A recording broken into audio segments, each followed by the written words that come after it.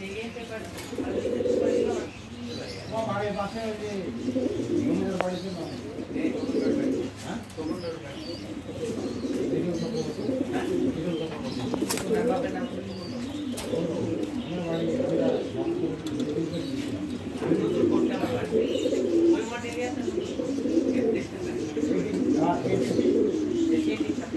বিষয়ে তোমার অসুস্থতা